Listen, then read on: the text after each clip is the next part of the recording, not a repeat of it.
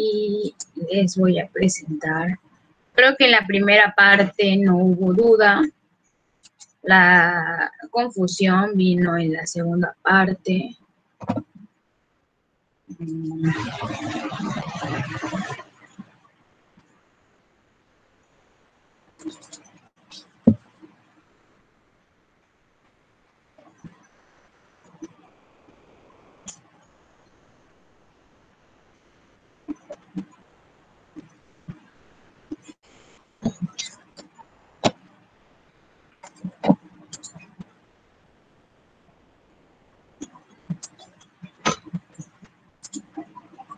Ok, aquí anda. Entonces, chequen si no se movió ningún resultado, lo que se movió fue el diagrama de Venn de cómo debió quedar.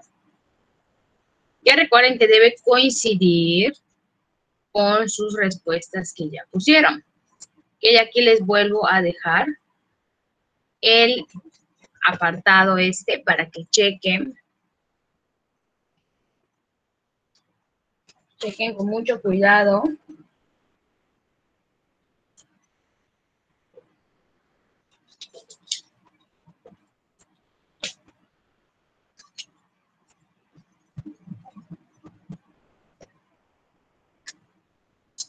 Y ahorita vamos a ver cómo coinciden, cómo debió quedar el diagrama de Venn para este ejercicio.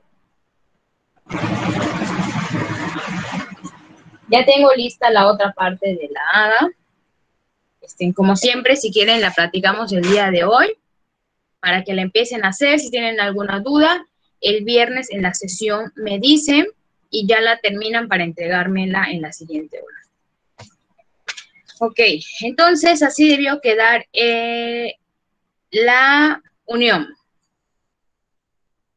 en el diagrama de Venn.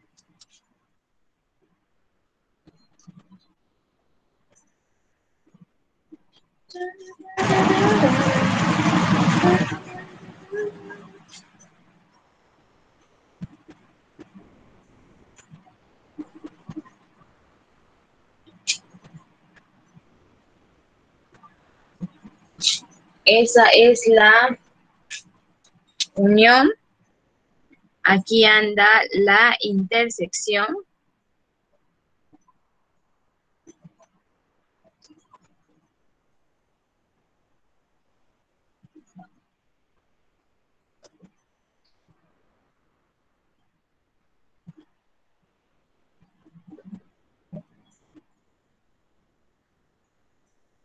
Luego la diferencia, la primera diferencia.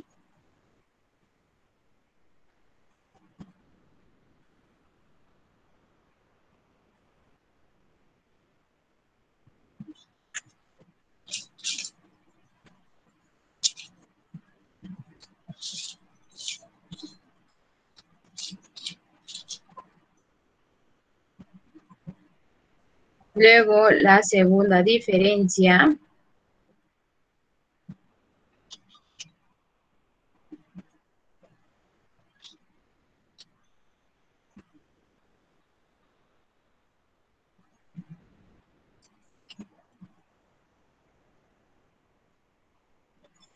Y los complementos, que aquí andan, un complemento.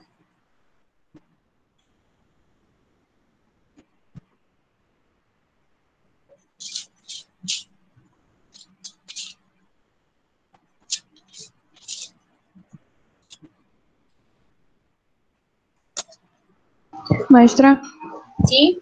Si en el complemento yo solo puse como, por ejemplo, el círculo A y pinté todo lo de afuera, ¿está bien aún así?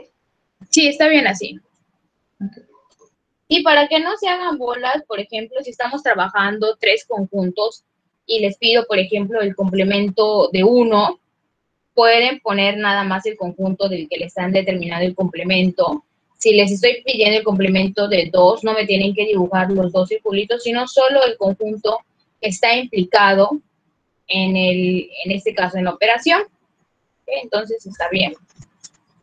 Y pues aquí está. Yo para aprovechar el mismo diagrama, pues lo hago así. Y así quedaría el otro complemento. ¿Dudas? ¿Dudas? ¿Dudas? Para que pasemos a lo siguiente. ¿Qué fue el último ejemplo que vimos ayer? Este, de combinaciones. O estábamos en el diagrama de árbol. Si no me equivoco, estábamos en técnicas de conteo todavía. Vamos a ver qué ya vimos de esto.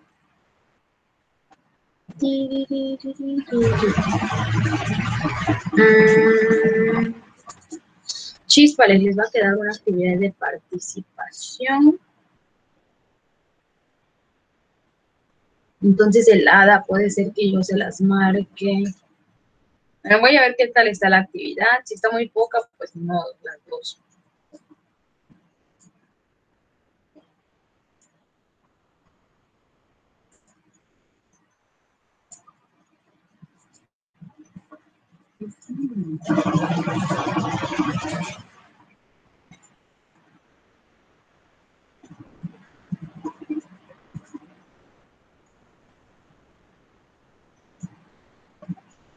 Estábamos en esto.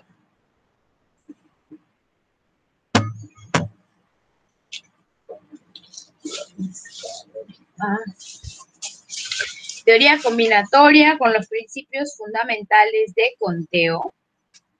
Vimos el de adición que está fácil, si no necesitamos realmente Ah, este, tengo que saber el, teorema fundamental de conteo, de adición, para que yo pueda dar respuesta. Pues no, realmente es pura lógica y a partir de ahorita les decía que la lógica hay que tenerla. Recuerden que las matemáticas son pura lógica. ¿Ok? Vimos este ejemplo de las camisas y los pantalones. Sí. Sí. Vimos el ejemplo entonces de las tres monedas.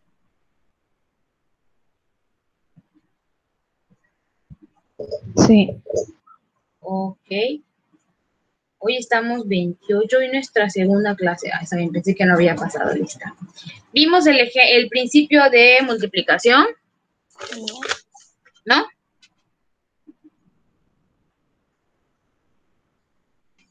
Ok. Fíjense nomás. El diagrama de árbol es una herramienta que nos introduce al principio de multiplicación. Pues en estos casos que vimos, realmente este, podemos hacer el diagrama de árbol, no queda frondoso, por decirlo así. Pero pues, ¿qué pasaría si quisiera saber el lanzamiento de 100 monedas? O sea, mi diagrama llegaría un momento en el que ya no va a ser práctico ¿sí? Porque va a quedar muy frondoso. Entonces, el teorema de la multiplicación lo que a mí me dice es lo siguiente. Permite encontrar el número de elementos del espacio muestral. El espacio muestral son nuestros posibles resultados, que si sol, sol, sol, sol, águila, sol, lo que estuvimos viendo en la clase pasada. Dice, en aquellos experimentos aleatorios en los cuales el orden es relevante y puede haber repetición. ¿A qué se refiere con relevante y repetición? este, perdón, en el orden, que eh, me importa mucho si cayó, o sea, no es lo mismo tener, vale, por ejemplo, dos águilas y un sol, pero en diferente orden. Por ejemplo, este, águila, sol, águila, águila, águila, sol. Son dos águilas y un sol. Importa el orden y puede haber esa repetición, ¿no? De que me cayó dos águilas y un sol. Dice, si un suceso A ocurre de n maneras diferentes y otro suceso B ocurre de m maneras diferentes, entonces A y B ocurren de n por m maneras diferentes. Esto es, si mi lanzamiento ocurre, ¿cuántas maneras diferentes tengo? Dos. Mi segundo lanzamiento, pues otras dos, porque pues es o cara, eh, o bueno, es que en algunos, en algunos ejercicios es cara o cruz, vamos a manejar Sol y Águila. Entonces ocurren de n por m maneras diferentes, es decir, de estén 2 por 2, 4. Si quiero saber el lanzamiento, cuántos resultados tengo con el lanzamiento de tres monedas, en mi tercer este, lanzamiento tengo o águila o sol. Entonces sería 2 por 2 por 2, que es 2 por 2, 4 por 2, 8. Quiero saber una cuarta, 8 por 2, 16. Una quinta, 16 por 2, 32. Y así sucesivamente. Aquí lo importante es identificar la cantidad de sucesos que pueden ocurrir ¿sí? en cada experimento. Me copian porque esto es muy importante. Y es lo que nos dice el teorema fundamental. Ah, no, ese es el del cálculo, El teorema, el principio de multiplicación. Bien, vamos a ver. A pasar esta. A ver si tengo mi lapicito por acá. Herrera Alejandro.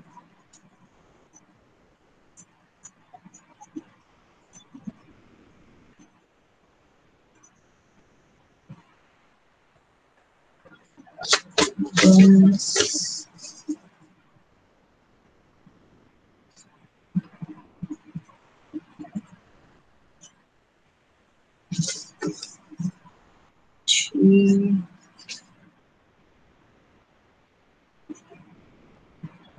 Британия.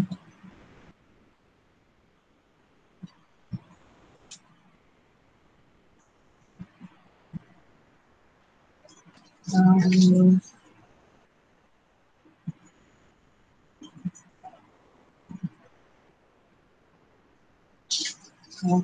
Amém.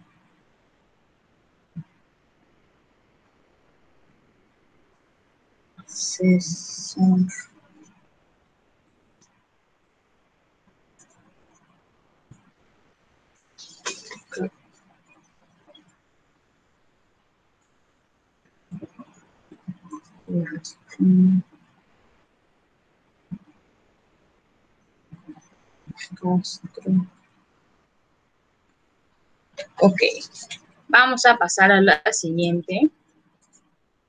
Y ya tenemos unos ejemplos, vean, ya están resueltos, no quería, pero lo borré, pero ya no tiene caso, son ejemplos. Dice, un restaurante ofrece dentro de su menú diario dos tipos de sopa, tres tipos de carne, dos tipos de ensalada, cinco variedades de bebidas y tres opciones de postre. Como estrategia de mercadeo, el dueño del restaurante quiere saber cuántas posibilidades de menú diferentes puede ofrecer en un mismo día. Sí, el menú pues tiene que llevar una sopa, tres tipos de carne, cualquiera de los tres, cualquiera de las cinco bebidas y tres opciones de postre. ¿Ok? Este, en este caso se multiplican las diferentes opciones que tengo y me da 180. Ejemplo, que ya nos vamos acercando al otro tema. Si les hubiese dicho, eh, ¿quieres saber cuántos, cuántas combinaciones como para, digamos, menús básicos que solo tengan unas, la sopa, tres tipos de carne y postre. Solo me lo incluye eso. ¿Cómo quedaría? Sopa, carne y postre. Sería uno por tres por uno, ¿no? Ok, son dos tipos de sopa nada más. Ah, son dos tipos de sopa, sería dos. Dos. Por tres. Por tres. Y no sé cuántos postres sean. Son tres postres. Sí, ah, solo sería claro, multiplicar según la condición que nos estén dando. En este caso nos queda 18. 18, vamos a ponerlo así, opciones de menú con sopa, carne y postre. Entonces ahí sí ya nos vamos introduciendo un poquito a lo que viene. Copien este ejemplo.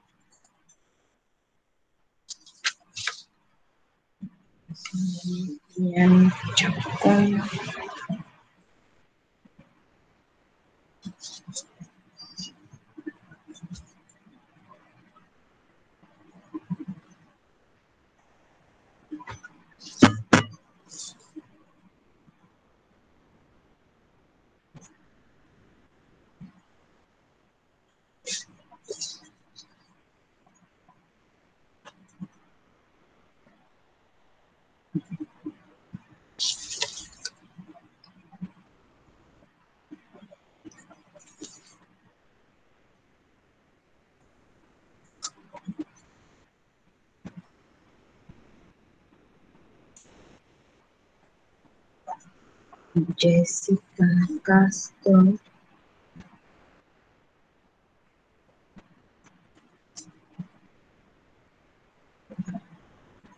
Katia.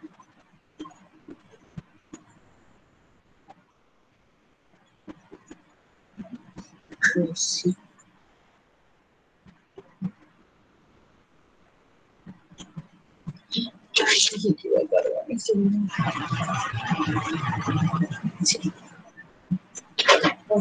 Esto no llego a ningún lado.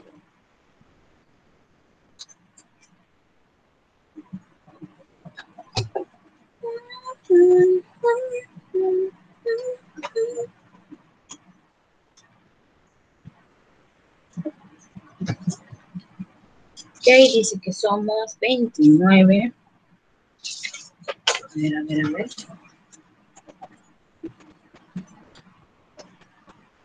Andrino vino, qué raro. 1, 2, 3, 4, 5, 6, 7, 8, 9, 10, 11, 12, 13, 14, 15, 16, 17, 18. Me faltan muchos. ¿A quién me habré saltado? Carlos, Catherine, Alexander, Corazón, una Chapón, Diego, Eder, Grete, Katia, acá Hernández. Este. Ayer no entraste a clase, Coretti. No, porque me bloquearon la cuenta. Ok, sí, sí, ya me acuerdo. Y a veces se me hace raro que tengan faltas. y ¿Qué pasó? Pero sí, ya me acuerdo. Duarte.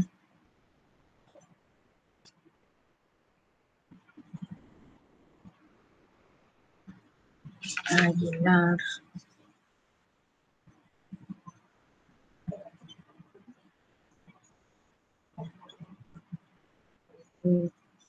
Mildred.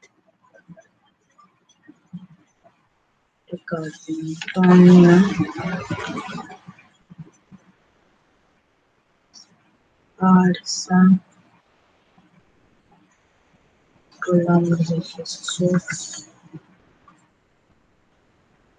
Ok, vamos a ver otro ejemplo en que prácticamente es hacer lo mismo. Creo que ya está hecho. Ya está. Dice, está más largo el ejercicio que el, lo que tengo que hacer, ¿no? Entonces aquí ya descansamos un poquito de, de procedimiento de conjuntos, a menos que yo les pida un diagrama de árbol, pero trataré de que no sea mucho lo que tengan que hacer porque no es muy práctico y para eso tenemos el de la multiplicación. Dice, si una señora acude a una tienda departamental para comprarse un vestido y una bolsa y la persona que la atiende le enseña cinco modelos diferentes de vestidos y cuatro modelos distintos de bolsas, ¿cuántas formas de selección tiene la señora? Y pues ahí está, sí, nada más es multiplicar. Y 5 por 4, 20.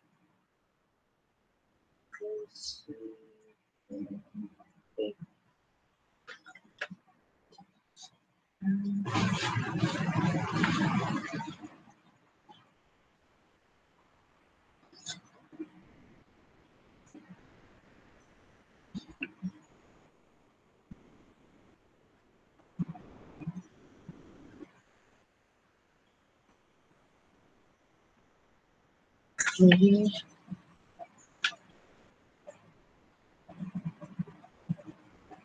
Seven.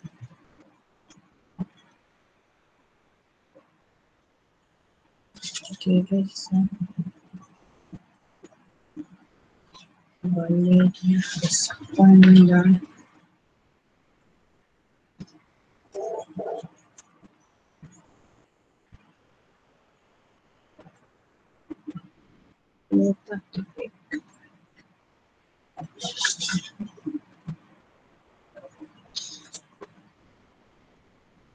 Ahora son 30, dice 1, 2, 3, 4, 5, 6, 7, 8, 9, 10, 11, 12, 13, 14, 15, 16, 17, 18, 19, 20, 23, 24, 25, 26, 27, 28, 29. Alguien, alguien André no es. Jimena tampoco. Vangelis menos.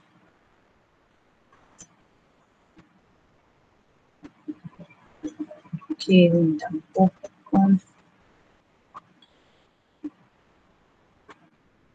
Listo, son 30.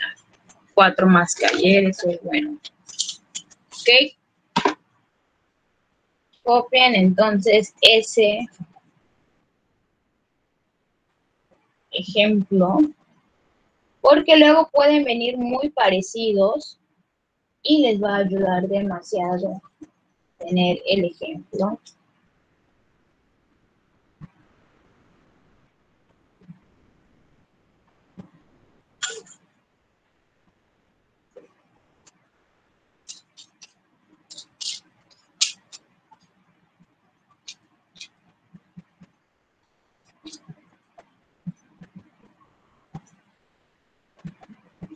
De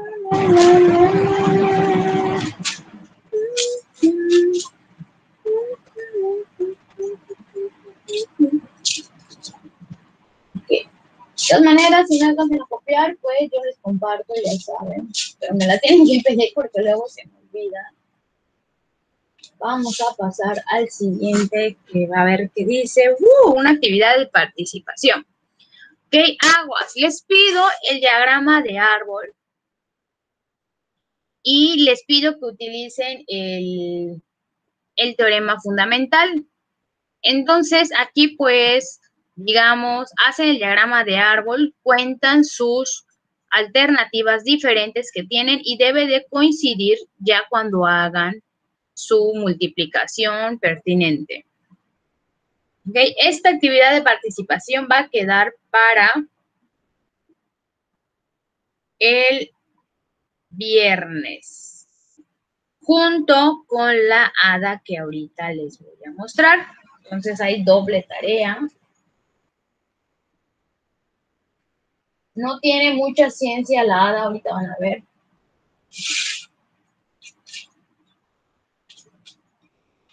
Más que se trabó esta cosa. Entonces voy a abrir la otra diapositiva, perdón, la hada, hada 2.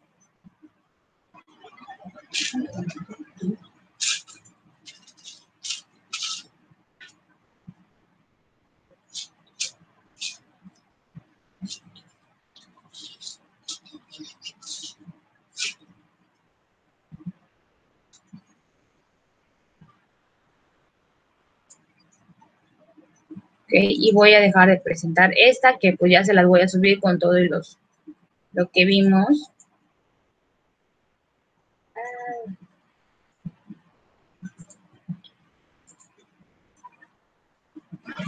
Y les voy a explicar qué tienen que hacer en cada una de ellas. Voy a dejar un espacio para la actividad de participación y otro para la ADA para no revolvernos.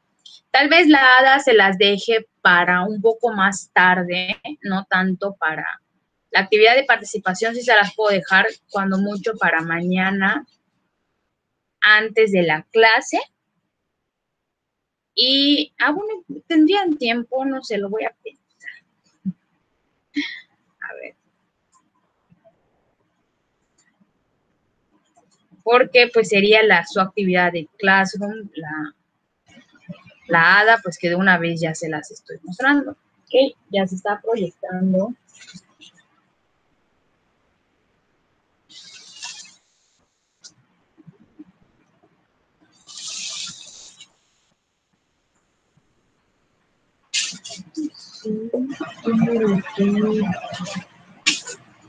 Y dice, lo primero, ok, acá chequen bien qué les dice, dice, ¿Cuáles de los siguientes conjuntos son vacíos, finitos o infinitos? Justifica tu respuesta escribiendo los elementos o en caso de ser vacío, explicar verbalmente. Entonces me van a poner los elementos y ahí ustedes se van a dar cuenta, ah, sigue puntos suspensivos, es algo infinito, le pongo vacío, finito o infinito, ¿sí? Tiene que tener estos dos, empezar a poner este, los elementos por extensión y que me escriban si es vacío, finito o infinito. Nada del otro mundo. Luego viene acá algo muy, muy, muy, muy bueno que tiene que ver con las notaciones que vimos. Chequen sus apuntes y dice, me van a subrayar la afirmación que sea correcta. Tengo al conjunto M que tiene R, S y T. Y me pregunto cuál de estas afirmaciones es correcta. Ok, son una, dos y tres. Solamente tienen que subrayar. Y en el último, les doy el universo, les doy A, B, C y tienen que este, hacer estas operaciones. Ok, aquí ojo. Cuando yo haga, ya termine mi operación de A intersección, B unión C, el resultado final es lo que voy a poner en el diagrama de Venn.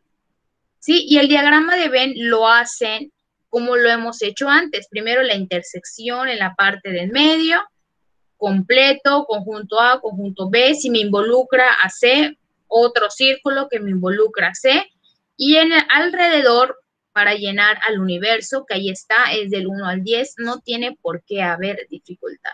Sí, por ejemplo, este, aquí sería en el 1, en el 2, en todo sería un diagrama de tres circulitos. Entonces lo pueden hacer al principio y ya luego se basan a cuánto me dio en la K, eh, aquí, los que están aquí, y eso me van a sombrear. ¿Okay? No está difícil, de todas maneras, si tienen alguna duda me pueden decir y ya saben. Okay, vamos a crear entonces estos espacios antes de que se me olvide.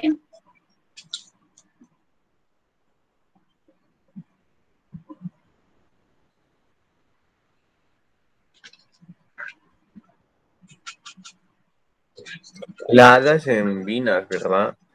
Sí, puede ser en Vinas o en equipos de tres también. Entonces, chéquense. La actividad de participación queda para el viernes antes de la clase, o sea, antes de las nueve. Entonces es la tres. Actividad de participación 3. Vamos a subirla en las diapositivas, está al final.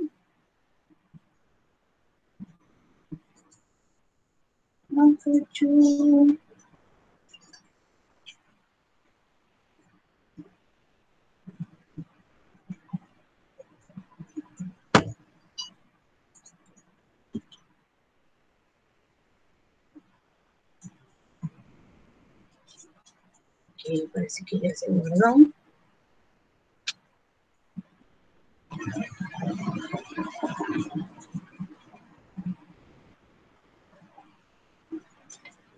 Y es técnicas de conteo 28, o sea, hoy.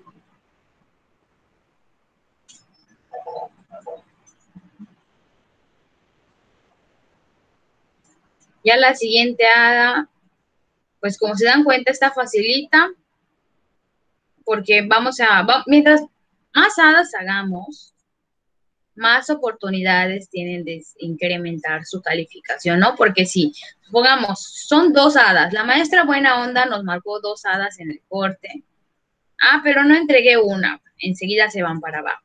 Entonces, mientras más hadas tengan, si llegan a tener un bajo puntaje, pues existe la posibilidad de que se recuperen. Entonces vamos a dedicarle una a estas técnicas de conteo que está fácil. 30 de abril, el viernes, Día del Niño, antes de las 9. Esto en el segundo corte. Listo. Ok, mientras subo la otra, voy a empezar a proyectarles este, lo siguiente.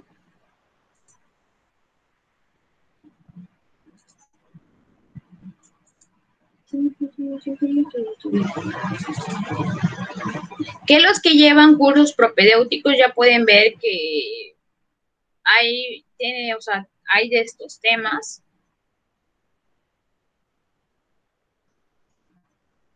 Los que van a presentar en alguna facultad, normal superior, tecnológico. Recuerden que el examen es el mismo para todos. Pues esto les va a servir mucho.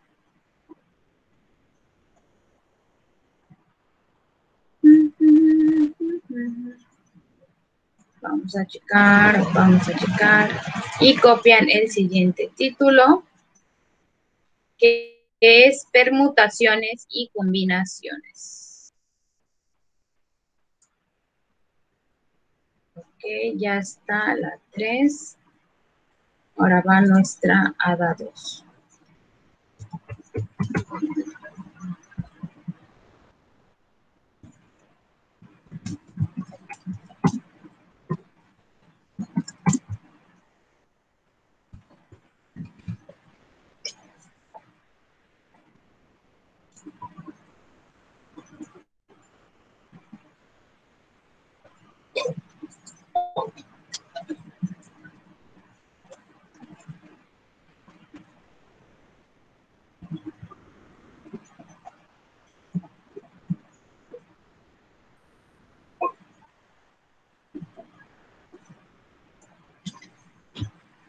ADA 2.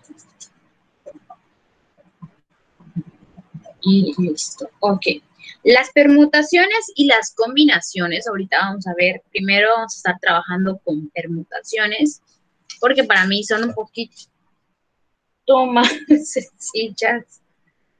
Este, ya luego para entrar a las combinaciones, 30 de abril, está antes de las 10 50.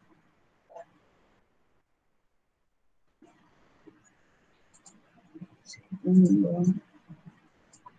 Porter, viernes. Listo.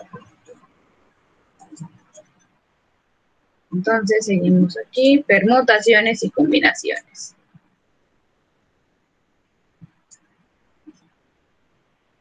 Como les había comentado, seguimos en técnicas de conteo. Estas este, ya nos van a permitir este, poder hacer ciertas, como lo dice, se le llama arreglos, ya estableciendo algunas condiciones. Entonces, ahorita les leo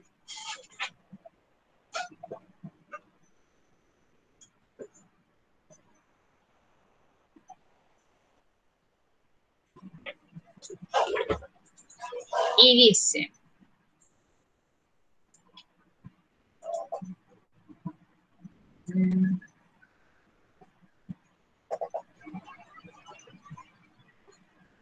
¿Quién regalo del día del niño?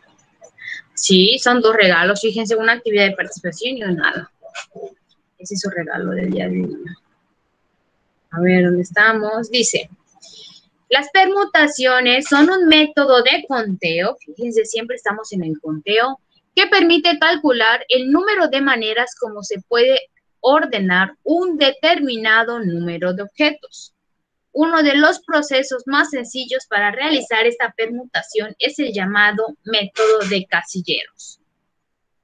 Se puede considerar como un caso particular del principio fundamental del conteo y se emplean cuando se requiere calcular el número posibles de arreglos ordenados que se pueden hacer con los elementos de un conjunto dado sin permitir la repetición. Entonces aquí hacemos un cambio, ¿no? En el otro hacíamos, este, permitíamos de alguna manera la repetición, que si cayeron dos soles y un águila, aquí nos va a dar lo mismo. Si tengo dos soles y un águila, no importa el orden, solo se cuenta una vez calmados, que todavía estamos empezando. Tengo como, por ejemplo, de cuántas maneras diferentes se puede escribir la letra del conjunto ABC sin repetir ninguna letra en los arreglos. ¿Sí? Es como que yo quiera tirar igual el sol águila sin repetir. Vamos a ver qué diferencia tiene. Vamos a hacer el diagrama de árbol para que vean cómo estaría quedando esto. El método de casilleros consiste en lo siguiente. Son unas, pueden dibujarlo ustedes como rayitas, como cuadritos. Yo lo voy a dejar como cuadritos. Primero que nada, me dice que estas tres letras se pueden escribir de manera diferente. O sea, voy a crear palabras, ¿no? Sí, son palabras, en un conjunto de letras, aunque no puedan leerse algunas, de tres de tres letras. Entonces, prácticamente estas letras yo las voy a estar acomodando en estos casilleros, pero obviamente no voy a poner ahorita las letras, sino voy a poner la cantidad. Ok, mi primera, o sea, mi palabra, mis palabras van a ser de tres letras. ¿Cuántas posibilidades tengo para que empiece mi primera, mi palabra con mi primera letra? Dos. ¿Por qué dos? Tres. Ah, Tres. sí, tres. Sí, porque puede ser A o puede ser B o puede ser C. Como me está diciendo que no se va a repetir, ¿sí? Ahora, para la letra que va en medio, ¿cuántas posibilidades tengo? Dos. Dos. Dos. Y después voy a tener Una. No. una. ¿Y qué tengo que hacer nada más? Multiplicar este resultado. O sea, voy a poner 3 por 2 por 1. Seis. Muy bien. 3 por 2 por 1 es igual a 6. Y son 6 posibilidades que tengo.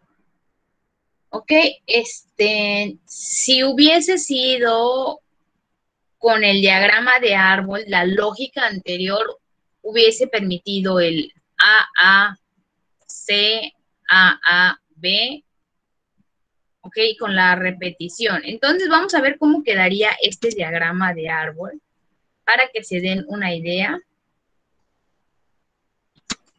de las palabras. Vamos a ver. Para empezar, les había dicho, comienza o con A,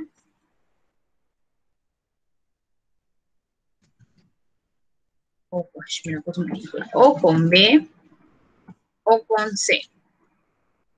Una vez que ya comenzó con A, digámoslo así, pues puede continuar con dos posibilidades, ¿no? Que sería B y C. B y C. Ya que comenzó con B, tengo dos posibilidades nada más, que sería A y C. Y si ya comenzó con C, tengo nada más otras dos posibilidades.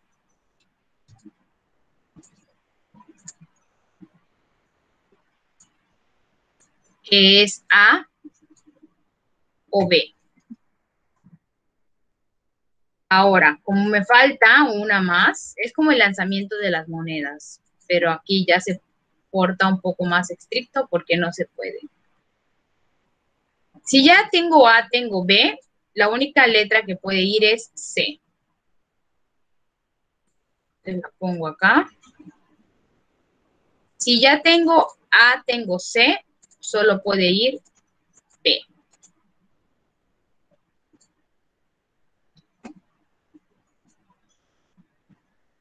Ahora me paso acá abajo. Si ya tengo B, ya tengo A, solo me queda el C.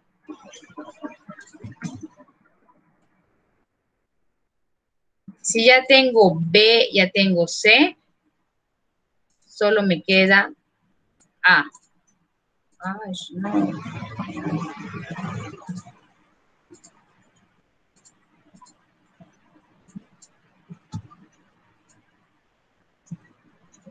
Y nos vamos con la tercera, que si ya tengo C, ya tengo A, pues va la B.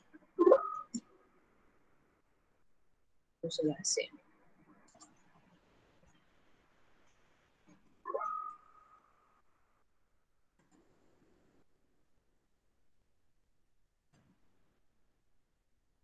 Y si ya tengo C, ya tengo B, me falta A. Y ahorita voy a escribir todas estas letras, todas estas palabras que se, pueden armar sin repetir letras. Entonces vamos a poner, sería ABC, ACB, BAC, BCA,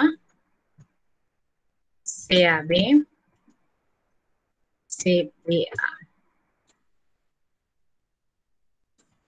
Ok, y aquí tengo mis seis palabras, ¿sí? En la, o sea, de esta manera puedo combinar mis tres letras sin repetir ninguna. Si hubiese sido, les, digo, con el diagrama de árbol en el anterior, sería ABC, aquí comenzaríamos igual. De la A volvería a salir ABC y tendríamos palabras como A, A, A, B, B, B, C, C, C.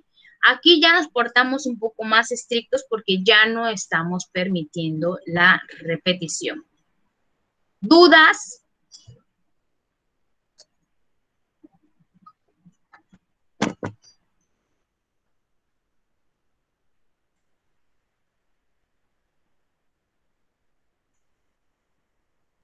Dudas, dudas, dudas, dudas.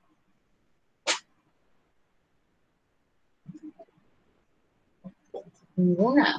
al momento de hacer, cuando nos marque una actividad de eso, ¿nos va a pedir que hagamos el diagrama de árbol o como nosotros lo hagamos? No. Eh, acá nada más les estoy mostrando para que vean este, por qué se multiplican, por qué sí da la respuesta pero no porque va a llegar un momento en el que no nos dé seis, no, nos, si nos llegara a dar así de bonito seis, pues no habría ningún problema, pero si ya nos da 20, o sea, como que ya no, o sea, no, no sería muy práctico. Entonces, no se preocupen, no les voy a dejar árboles enormes, en dado caso de que se los pida, pero pues aquí ya eh, es muy, se, ya se le llama permutación, ¿no? Y utilizar el método de casilleros, o sea, ya no tiene mucho chiste hacerlo. Solo nos la respuesta, ¿no? Y el procedimiento. Sí, que sería esto nada más. Ok. Acá hay otro, vamos a checar. Ah, ok, ok. Esto va a ser muy necesario, ¿no? De el factorial de n, lo vamos a empezar a introducir a nuestros ejercicios. Sí, y es nada más este, una anotación, una manera de abreviar algunas cosas. Dice, el símbolo da una N y un signo de admiración, no, de interrogación. Este, se lee factorial de N o N factorial, donde N es un entero positivo, representa el producto de N y cada entero positivo menor que N.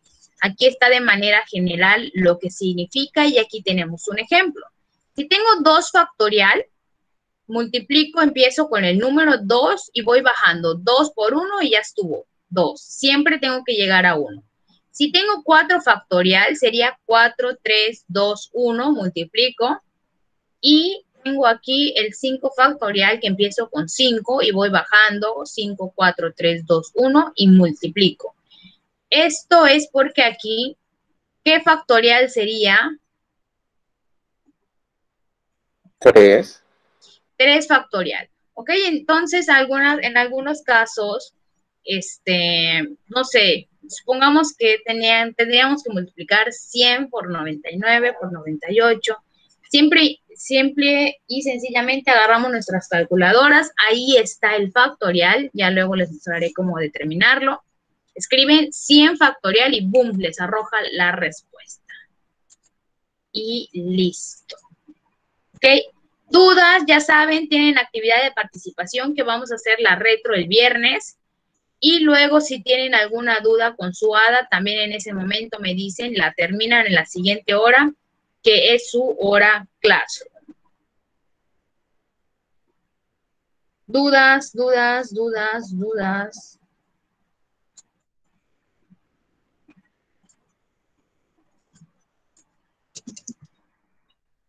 ¿Tienen alguna duda? Pues ya saben, ustedes tienen el privilegio de tener tenerme en WhatsApp, ahí me pueden decir, maestra, esto. Tampoco se pase, amiga maestra, ¿y esto cómo se hace? Porque me ha pasado. No con ustedes, pero me ha pasado. Ok, si tienen alguna duda, entonces, si ya no tienen, perdón, ninguna duda, pues nos vemos hasta el viernes.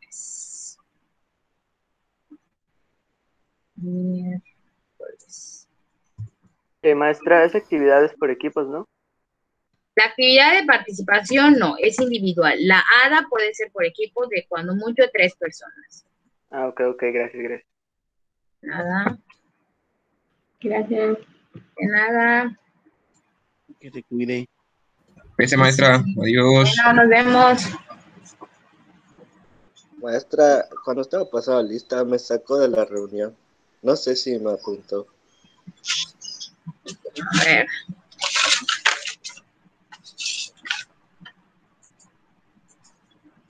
Soy Carlos. Carlos. Sí, sí te apunté. Herrera Zapata Carlos. Sí. Gracias, maestra. Hasta luego. De nada, bueno.